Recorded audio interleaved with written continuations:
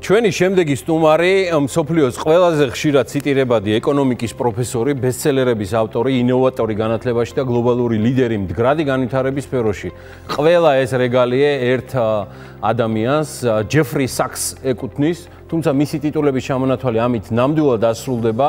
ჯეფრი საქსი დღეს გაეროს მდგრადი განვითარების მიზნების ქსელს ხელმძღვანელობს და ამ მიზნების ადვოკატირებაში პირადად გაეროს გენერალურ მდივანს ანტონიო გუტიერეს ეხმარება.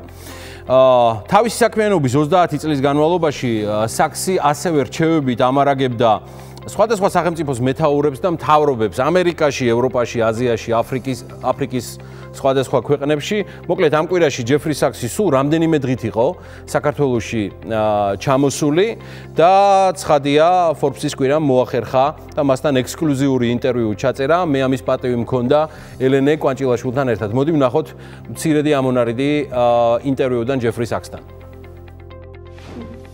დიდი მადლობა თქვენი დროისთვის. როგორია დღეს საქართველო? როგორც ვიცით, პირველად ხართ საქართველოში, ასეა?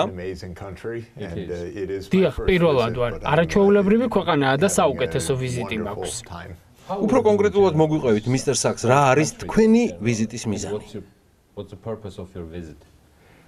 ჩემი მიზანია უკეთ გავიცნო საქართველოს თბილისის სახელმწიფო უნივერსიტეტის მოწვევით ვარ დღეს ამ ქვეყანაში და ძალიან მოხარული ვარ რომ საპატიო დოქტორის წოდება მომენიჭა ამ უნივერსიტეტისგან.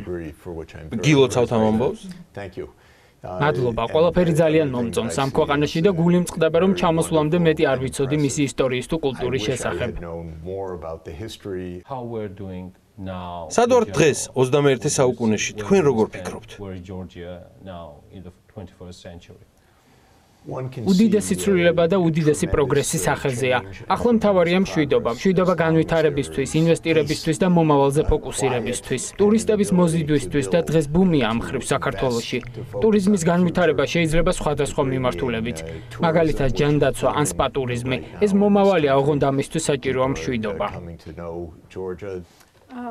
როდესაც თქვენთან ინტერვიუსთვის მემზადებოდით და საკმაოდ მცირე დრო გქონდა ამისთვის, რამდენიმე თქვენს ნაშრომს და ინტერვიუს გადავხედე და მგონია რომ თქვენი გამოცდილება ზუსტად ეხმიანება იმ პრობლემებს, რაც დღეს საქართველოსაც აწუხებს. მაგალითად, ციგარიბე, რის დონეც საკმაოდ მაღალია დღეს საქართველოში, როგორც ამას UNICEF-ის ბოლო ანგარიშიც აჩვენებს. ერთ ნაშრომში თქვენ წერთ, რომ სიგარიბის მახიდან თავის დაღწევა კლინიკური ეკონომიკით არის შესაძლებელი. რას გულისხმობთ უფრო კონკრეტულად და როგორ შეიძლება ეს მიდგომა საქართველოს გამოიყენოს.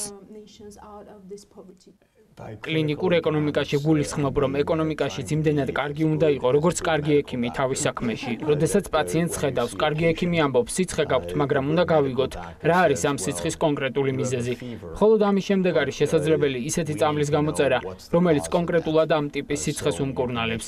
რომელ ქვეყანაზეც არ უნდა საუბრობდეთ, აუცილებლად უნდა გავითვალისწინოთ ამ კონკრეტული ქვეყნის სპეციფიკა. მისი გეოგრაფია, მისი გეოპოლიტიკა, მოსახლეობის რაოდენობა, ტექნოლოგიური შესაძლებლობები, ეკონომიკის მასშტაბი. ამდენად კლინიკურ ეკონომიკაში მე ვგულისხმობ, რომ საქართველოს შემთხვევაში ამ ქვეყნის სპეციფიკა უნდა გავითვალისწინოთ. უნდა მოვახდინოთ ცენტრალური მნიშვნელობის კომპონენტების იდენტიფიცირება და მათი განვითარების შედეგად გავიდეთ პროგრესზე.